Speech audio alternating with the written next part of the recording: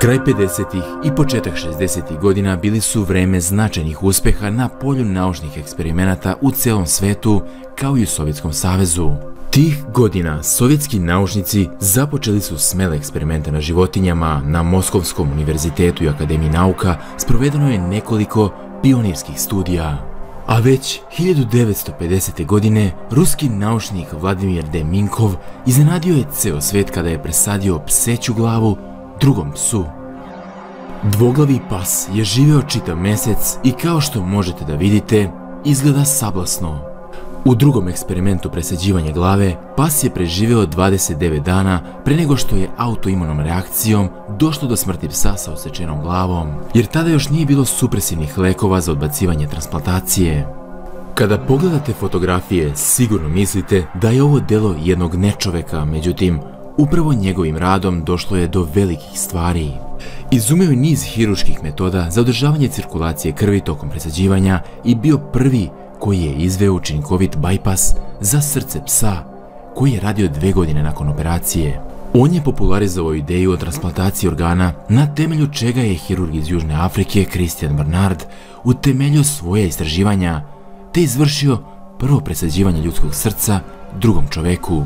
To je na kraju dovelo i do presađivanja glave majmuna doktora Noberta Whitea koji je bio nadahnut upravo Deminkovim radom.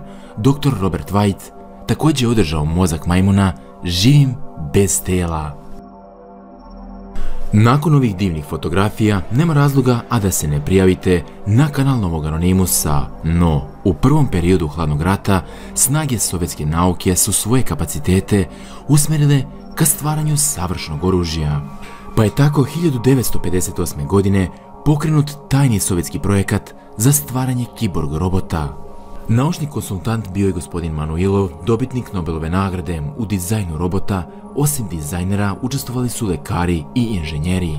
Za eksperimente koji potvrđuju bezbednost kod ljudi predloženi su miševi, pacovi i psi. Razmetrana je varijanta eksperimenta sa majmunima, ali je izbor pao na pse, jer su oni bolje podložni dresuri i mirniji su od majmuna. Tako da nakon formiranja tima, ovaj projekat je dobio naziv Koli i postojao je skoro 10 godina. Da bi dekretom Centralnog komiteta od 4. januara 1969. godine aktivnosti projekta Koli prekinute, informacije su postale tajne sve do 1991. godine. Tako da nedavno sam pregledavajući objave na internetu naišao na post sa fotografijom pohabanog i natopljenog arhivskog dokumenta. Na fotografiji koja je vremenom požutela, Sudeći prema poštanskom žigu, dokument je bio početkom 90-ih, kada je skinuta oznaka tajnosti. Ljudi u belim mantilima stoji u blizini stola na koji je montiran uređaj koji podržava život u glavi psa Koli.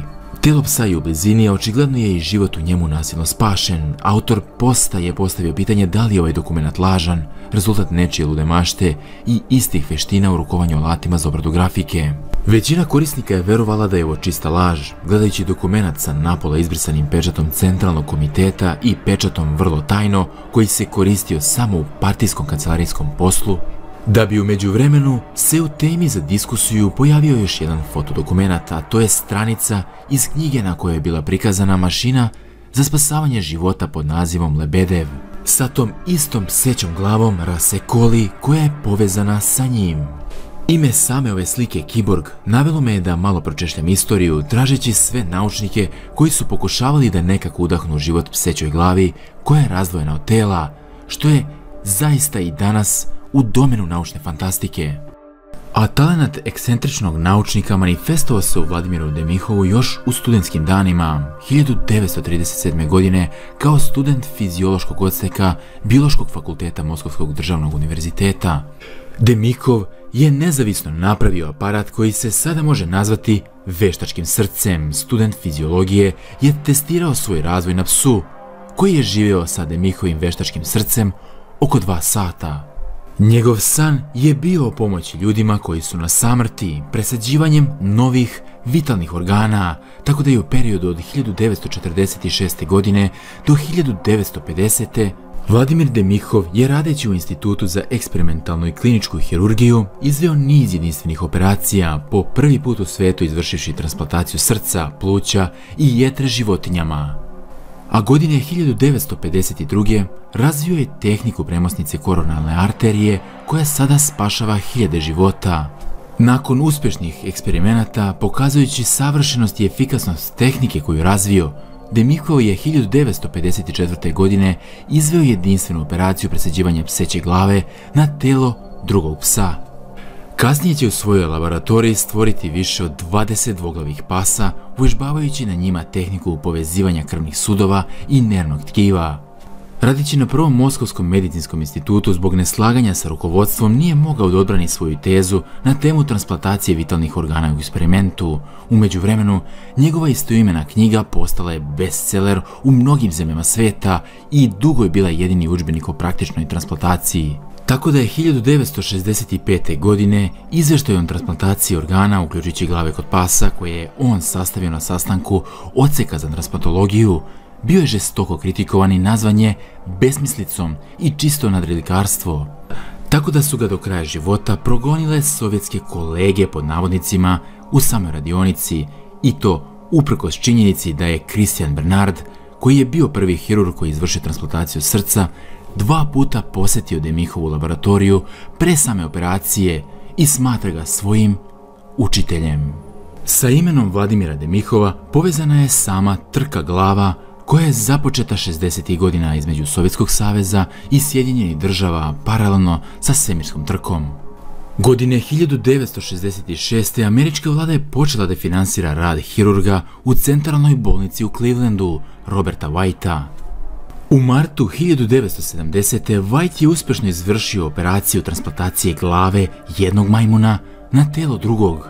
Inače, kao i u slučaju Demihova, Whiteov rad u Sjedinjenim državama žestoko je kritikovan. I dok su sovjetski ideolozi optužili svog naučnika za gaženje komunističkog morala, White je bio obešen zbog kršenja monopola božanske providnosti, tako da je do kraja svog života White prikupljao sredstva za operaciju transplantacije ljudske glave. Čak je imao i dobrovoljca, paralizovanog Craiga Vetovica. Za kraj, da li je zaista ovaj projekat Kiborg Pasa postojao? Ovi dokumenti su rezultat rada sprovedenog u okviru kreativnog projekta računarske grafike Koli. Tako da se teško može smatrati istinitom upotreba mašine za spašavanje života u stvaranju kiborga sovjetskih kolija. Možda su se naučnici plašili da pretvore fantastičnu teoriju u stvarnost. Kada vidimo projekte koji su radili Sovjeti još 50. godina sa životinjama, ne možemo, a da se ne zapitamo šta danas radi nauka. Možda smo predmet istraživanja svi mi, možda je taj eksperiment već neko vreme u svima nama. Zapitajte se. Hvala vam na pažnji, nemojte zaboraviti da lajkujete video, a mi, mi se vidimo uskoro sa nekom novom pričom, vaš Novi Anonimus. Ćao.